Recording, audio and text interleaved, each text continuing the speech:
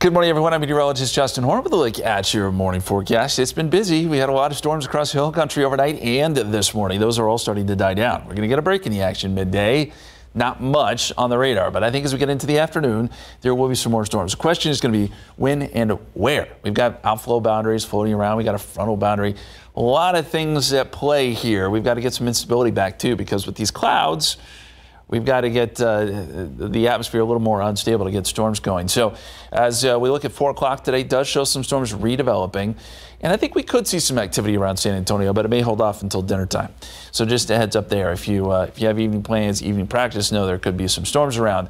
And that may even go into tonight before this all pushes south by midnight. Rain chances.